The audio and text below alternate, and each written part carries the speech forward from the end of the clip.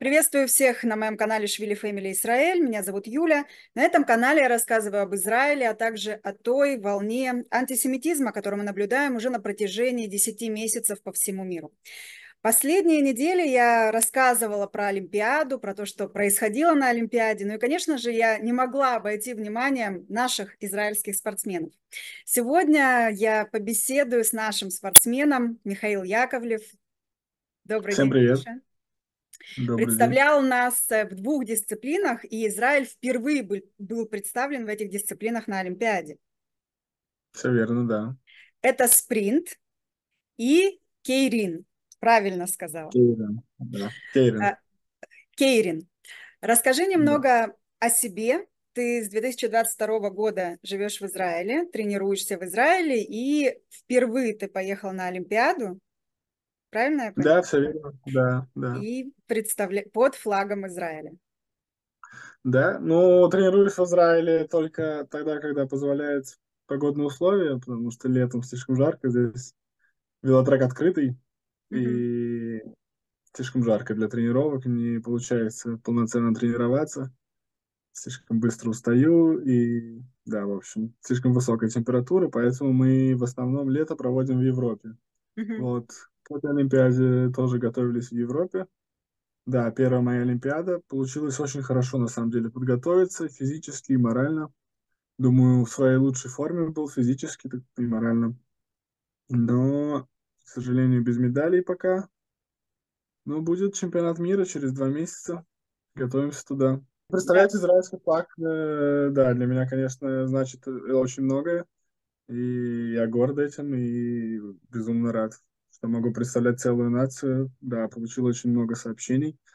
Э, принес велоспорт на треке в каждую квартиру, в каждый дом.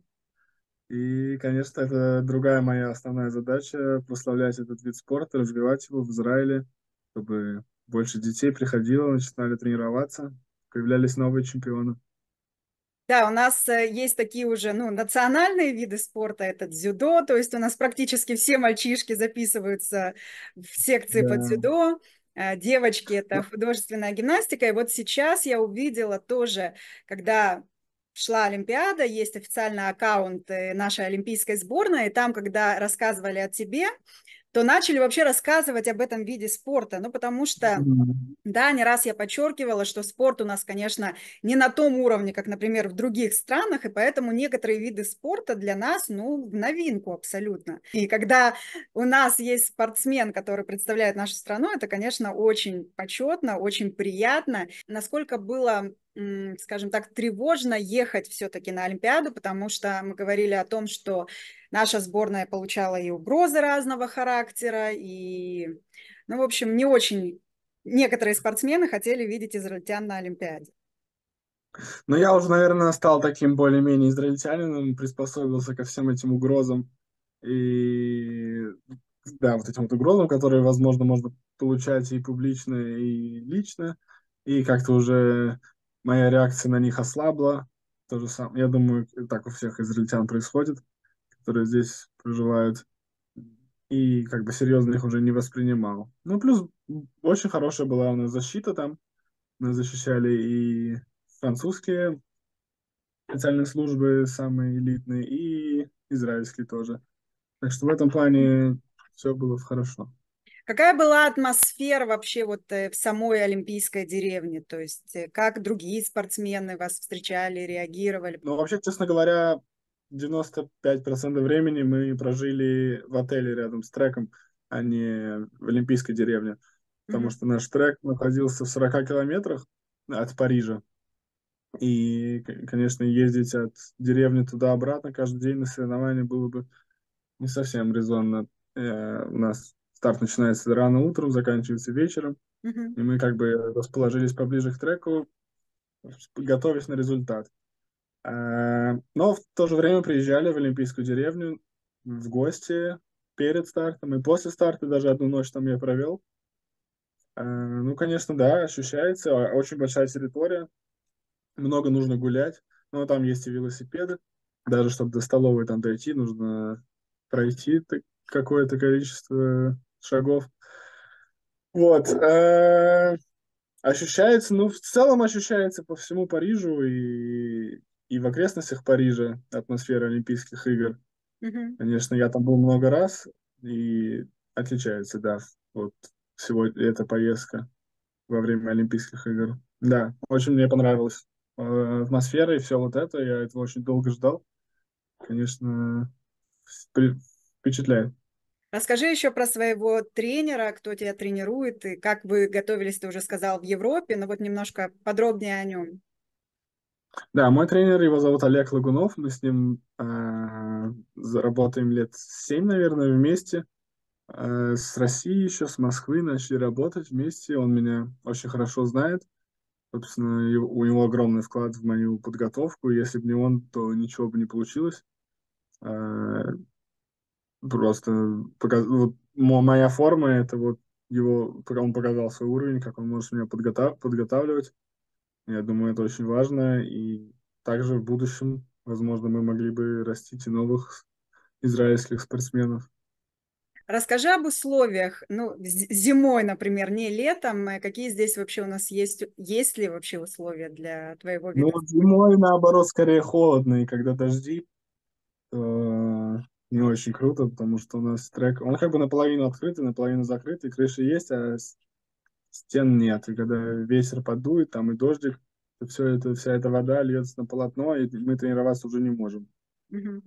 Конечно, было бы хорошо его закрыть и поставить там кондиционеры, но, видимо, в этом тяжело это сделать, видимо. А есть ли у нас вообще спортсмены, то есть есть ли тебе с кем соревноваться здесь, в стране? М, Не, не, это точно нет. Вот только с недавних пор они начали только проводить на треке гонки спринтерских дисциплин, спринт и керинг. То есть до меня их даже не проводили, даже никто не знал об этом. Так что, конечно, нет. Вот спринт, одна из моих дисциплин, начинается с квалификации. Квалификация – это 200 метров сходу. Каждый гонщик ездит по очереди 200 метров сходу на время. И потом, исходя из этого времени, они, э, судьи составляют сетку, по которой уже начинаются матчевые заезды один на один спринта. И вот в этой квалификации есть мировой рекорд и олимпийский рекорд. Мгм. То есть это так же, как в легкой атлетике спринтера, там Усейн Болт, они вот бегали 100 метров, только не 100 метров, а у нас 200 метров. И секунды, кстати, те же. То есть там у Усейн Болта 9.58, у нас там 9...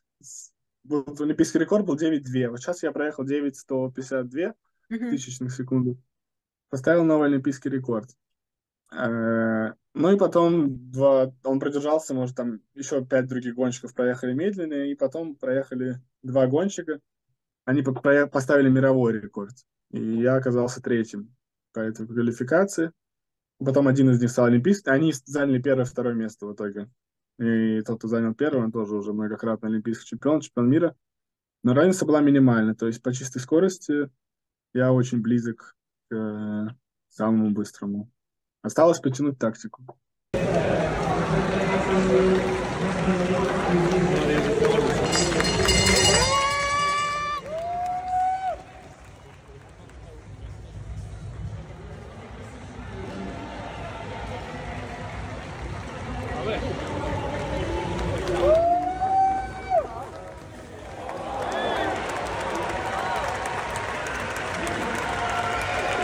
Да, в спринте, потому что уже не только чистая скорость важна, но и другие нюансы, моменты, типа физики даже, когда там со второй позиции ты едешь, ты за счет того, что у тебя сопротивление меньше, ты идешь в воздушном потоке и можешь набирать разницу скоростей, и как бы на слепстриме обгонять. Плюс первый там тоже зависит от траектории очень много. И плюс тактика тоже, в какой момент ты поедешь. Финальное твое ускорение чуть раньше или чуть позже. Все это очень сильно влияет на результат. И то есть там не только скорость, как в легкой атлетике, но и ум тоже. Хотя в легкой атлетике, я тоже уверен, ум должен Ну и быть. там э, важен тоже то, на чем ты едешь, то есть там велосипед взвешивают, проверяют. Вот расскажи про это тоже, это не просто так. Да. Да, взвешивают, конечно, проверяют его все параметры, длину выноса, все параметры, длину, ширину, везде все проверяют. Также на, на всякие специальным таким аппаратом проверяют, если там какие-нибудь э, двигатели или электро двигатели, да, как э, такие моменты происходили в велоспорте на шоссе, когда кто-то пытался считерить. Вот. Э, ну, есть определенные марки, их там может быть штук пять, mm-hmm. самые топовые в мире, там британские, немецкие, голландские, э, французские, японские, вот. И вот все как бы на них. В израильских, к сожалению, нет. Вот. Я езжу на голландском велосипеде.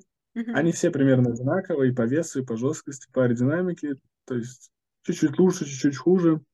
От колес тоже много зависит, от, от комбинезона. Вот, например, мой комбинезон стоит 7 тысяч евро.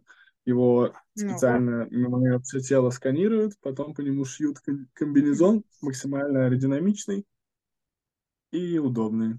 Вот. Также бахилы, там очень много, целая сфера у нас. Это очень, конечно, дорогой и, и технологичный вид спорта. А, ну и плюс уже мы сами, как мы подготовились. Да. Но у тебя спринт, если кто-то не наблюдал за Олимпиадой, я скажу, что там сколько у вас была разница? То есть там даже смотрели по стоп-кадрам, кто из вас все-таки проходит. Да, это называется, да, называется фотофиниш. И я проиграл британцу ровно одну тысячную секунды. Это вот, мы едем на скорости 78 км в час, и это вот меньше миллиметра. Я, на самом деле, многие возмущались и говорили, что невозможно, это неправильно по такой разнице судить, потому что там даже по фотофинишу вот, даже невозможно заметить эту разницу. Это одна тысячная секунды. То есть вы можете попробовать взять секундомер в телефоне и вот максимально быстро сработать, там будет несколько сотых секунды. Mm-hmm. Это получается в несколько десятков раз меньше. Ну, в общем, да, вот такие вот у нас можно было это как-то обжаловать или это уже не... Нет, нет. Одна тысячная секунда. Такое бывает. Даже потом, насколько я знаю, через несколько дней было у девочек прям ровно. Меньше одной тысячной секунды mm-hmm. финиш. Прям вообще они ровно финишируют. Вот такое вот, да, бывает. И как там решилась судьба девочек? Ну, кстати, не знаю. Ну, я знаю, а это, по-моему, был Тверин заезд, и они там ехали, то есть не один на один, там было это менее важно. Они обе проиграли. А когда бывает один на один, вот так, я думаю, дают перезаезд. Называется, да, мертвый заезд. Ты сказал, да, что сейчас это новый вид спорта для Израиля, и многие израильтяне ивритоязычные тоже подключились к просмотру. Получал ли ты от них тоже сообщения, реакции? Конечно, как вас встречали? Огромное. Вот это тоже интересно. Огромное количество реакций я получил и сообщений не только из Израиля, и, и, со всего мира, а, от еврейского сообщества, от, а, из Австралии, Америки, Канады, Британии. Просто тысячи сообщений. И из Израиля, да, в частности, всеми меня многие благодарили. Встречали нас тоже, конечно, очень тепло. Очень много людей было. Я на самом деле, у меня там велосипед просто задержался. Я точнее, не пришел. Я задержался, я там пытался выяснить и заполнял бумагу, и я пропустил все это. Но там какая-то группа осталась и для меня тоже. Миша! Миша! Миша! Другим отдаим!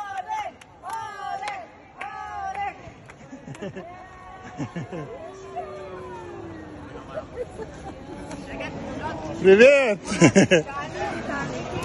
Привет! С приездом! Привет!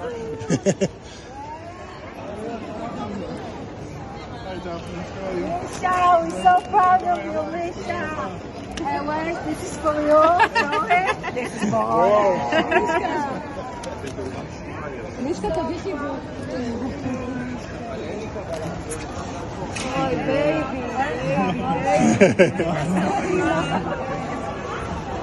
А на церемонии закрытия? Ты да, я был на церемонии закрытия, да. И как ну, это там, проходило? То есть как это, какие это ощущения, когда ты там внутри вот этого вот мирового события? Ну, к сожалению, сейчас я об этом жалею, я был расстроен и Олимпиады моим результатом, и то, что медали не было. И как-то мне это не позволило насладиться в полной мере. Но потом я пересмотрел по телевизору, да, классно. Ну, вот церемония открытия мне понравилась больше, на самом деле. Там, знаешь, там все ждали Red Hot Chili Peppers концерт на церемонии закрытия, и в итоге их показали на мониторе. И там Из Лос-Анджелеса. Всеобщее разочарование, да. Там все ждали этого. Ну, а Том. Круз, который там носился по... Да, да, классно, классно. Удалось как-то к нему подойти? Нет, я с другой стороны совершенно был, но я видел, как он прыгал. Ну, то, тоже интересно, потому что все наблюдали, мы Да, видели, как там пытались к нему люди подойти, и да, подойти да. поближе. Миш, ну, во-первых, я хочу сказать, что да, ты как э, расстроен как э, спортсмен, это все понятно, но я думаю, что страна на самом деле, и я вижу это и по комментариям, которые пишут мне люди, они благодарят всех вас, спортсменов, тренеров и вообще Спасибо. всю делегацию, которая в столь сложное время нашла силы, поехала, несмотря ни на что, несмотря на те угрозы, которые были, несмотря на то давление, которое на вас оказывалось, потому что тоже находиться постоянно под охраной службы безопасности, это тоже нелегко, и еще при этом готовиться, настраиваться и выходить на олимпийские соревнования, это, конечно, очень нелегко. Поэтому большое спасибо, я думаю, не только от Большое меня, спасибо, от всех да. моих Я думаю, подписчиков тоже для нас, для всех спортсменов и для всей олимпийской делегации, думаю, это самую важную часть занимает вся вот эта вот поддержка из Израиля. Просто это очень важно, очень помогает, чувствуется прям от сердца к сердцу. Да, Спасибо. и очень многие об этом говорят, что вот во всей этой темноте, которая сейчас происходит, вот эта Олимпиада, это стало таким лучиком света для очень многих, следили за всеми, болели за всех и поддерживали вас. Так что спасибо большое. Будем наблюдать через два месяца за чемпионатом мира, и я уверена, что... Ожидание, Да, в середине октября. Да, хорошо. Так что пожелаем удачи, Большое спасибо. большой удачи тебе. А, Но я обращаюсь э, к моим зрителям, что продолжайте следить за каналом, продолжайте следить также за нашими спортсменами, хоть это немножко отвлечет вас от э, новостной повестки, которая не всегда, к сожалению, радует. Это был канал Швили Фэмили Израиль. Встретимся здесь. До встречи. Пока-пока. До встречи.